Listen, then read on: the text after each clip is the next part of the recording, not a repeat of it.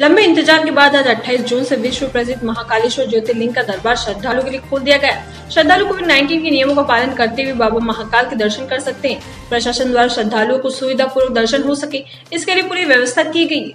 महाकालेश्वर के दर्शन लाभ के लिए श्रद्धालुओं को अपना वैक्सीनेशन सर्टिफिकेट या 48 घंटे पहले की आरटीपीसीआर रिपोर्ट दिखाना अनिवार्य किया गया। उसके बाद ही मंदिर में प्रवेश दिया जा रहा है। साथ ही दर्शन के लिए प्री बुकिंग की करना भी आवश्यक की गई। है लंबे इंतज़ार के बाद अब श्रद्धालु प्रशासन की गाइडलाइन का पालन करते हुए दर्शन का प्रसन्न नज़र आए।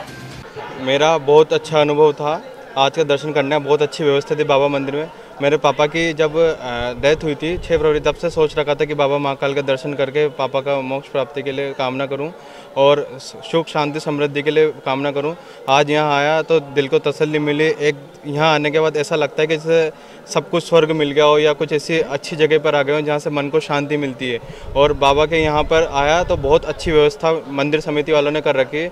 सबके प्रॉपर डिस्टेंस मेंटेन और महाकाल मंदिर में सबके सर्टिफिकेट के बाद ही अंदर आने दे रहे हैं। इस व्यवस्था के लिए मैं महाकाल मंदिर समिति को धन्यवाद ज्ञापित करना उत्तर प्रदेश आए कानपुर से।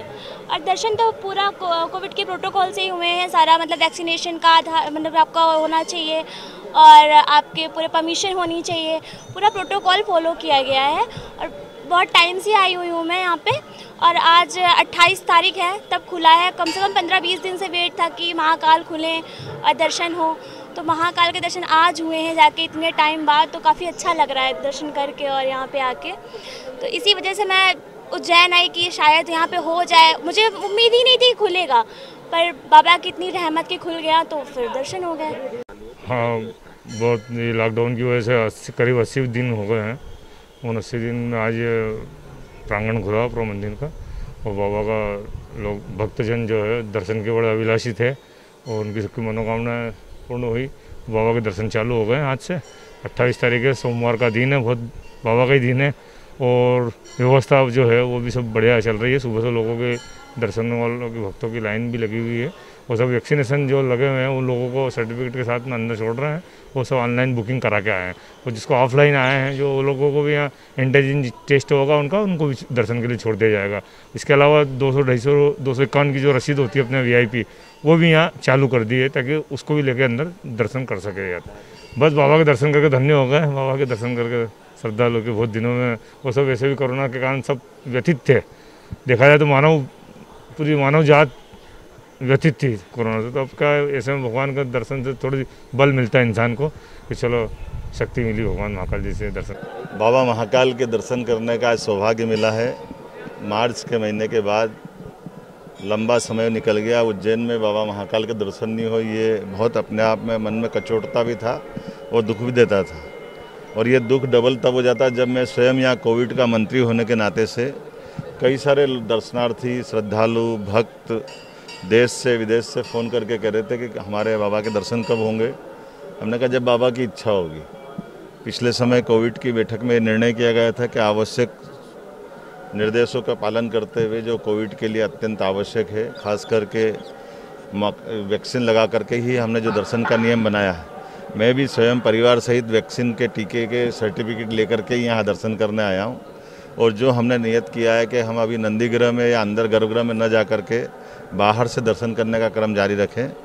मैं उम्मीद करता हूँ कि बाबा के दर्शन करने के साथ ही हमारे लिए जो वर्तमान में कोविड की दूसरी लहर पे माननीय मुख्यमंत्री और प्रधानमंत्री के सफल नेतृत्व से जो हमने एक बड़ी बाधा पार की, परमात्मा करे अब तीसरी बाधा आए नहीं और बाबा महाकाल सबकी रक्षा करे, यही कामना करते हुए और जितना बन पड़ा जैसी सेवा हमने करने का प्रयास किया है।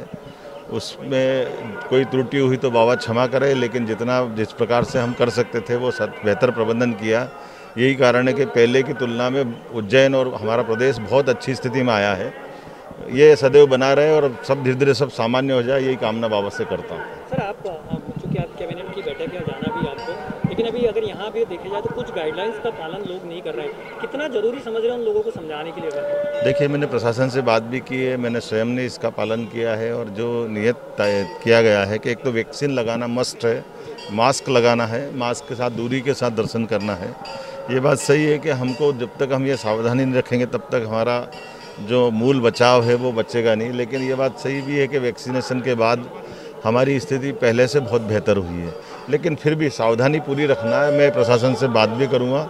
मैं देख भी रहा हूँ और मैं बात करके सबसे हाँ। रहे हैं। दूर रहना है सेल्फी से। और वैसे दूरी तो बहुत ज़रूरी है दूरी है मास्क है। आवश्यक सावधानी हम सबको रखना है और बाबा से कामना भी एक बाबा सबकी रक्षा करे। मैं उम्मीद करता हूँ कि ये क्रम जारी रहेगा। आने वाला श्रावण मास है। 25 जुलाई के बाद जब श्रावण के बाद 26 जुलाई को पहली यात्रा निकलेगी उम्मीद करेंगे तब तक कुछ हालात ठीक होंगे तो हम दोबारा मीटिंग करके कुछ निर्णय करेंगे। उज्जैन से अर्पित बोड़ाना की रिपोर्ट।